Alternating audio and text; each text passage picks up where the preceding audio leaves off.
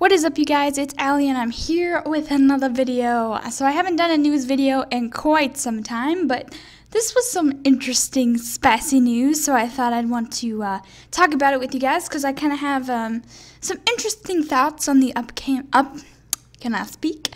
Upcoming DC movie slate, and I think that this news really does affect that. So it's reported that James Gunn is going to be start uh, is going to start filming uh, Suicide Squad 2 in September of this year, and then potentially wrap by, I believe they said like June 31st, 2020, so the last day of June. Um, that would obviously just be principal photography, and then they would need, you know, additional photography and obviously, you know, all the back end stuff of like CGI and all, all the post production stuff. Um, that is exciting news though, because um, Suicide Squad isn't actually set to release until August of 2021, so it's like you know uh, they did that August release date for the first Suicide Squad, which was extremely successful for it. Obviously, it kind of had a huge drop off because the reviews for it weren't so great. But yeah, so this is kind of exciting news, and it makes me think that that release date might end up getting moved up. Um, because as you can see, what we have next um, what we thought that, that what DC was going to be doing was like a two year, um, two well two movies each year kind of thing. So right now, obviously we had Shazam earlier this year, and we're going to have Joker in October, which looks fantastic. Birds of Prey, we haven't seen anything of that really, other than like a small little. Um, clip reel thing, kind of almost like test shooting and stuff, and some photos from on set, like leak photos and everything.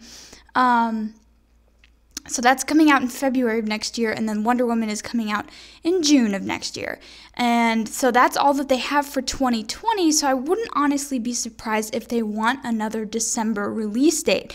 Obviously, Aquaman did so well in that December release date, and December 2022 is when Aquaman 2 is going to be coming out. So it seems like setting up a pattern for December release dates for DC movies would be a good idea because obviously Star Wars has kind of been moving away from doing December release dates and they're going to be supposedly taking a break after um, the next few movies, which will open up the um, space to release DC films. And Aquaman just got right into that pocket last year and just totally stole the show from everyone else. Deservedly so. It's a very, very good movie.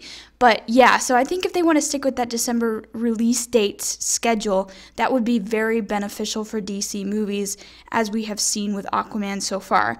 Um, so yeah, I wouldn't honestly be surprised if they do end up shooting, starting shooting in September, that they would have the movie ready by December 2020 or maybe even November, just depending on when they would want to release it. It is a Suicide Squad movie, so it seems odd for like a Christmas time release date, but so did Aquaman, and yet it worked so well. So I wouldn't be surprised if we end up with the third uh, DC film in 2020 um, because it just seems odd for them to sit on a movie like this, um, for them to start filming so soon and then have it completely done, edited and everything, and then just sit on it until 2021. And like, not early 2021, not like January 2021, literally August of 2021. That's eight months in. So that's a lot of time to wait for that. So I wouldn't be surprised if they move that up and, um, you know, surprise everybody with maybe even moving Aquaman up to December of 2021 uh, to go along with the Batman, which would be a fantastic DC year if I might say so myself.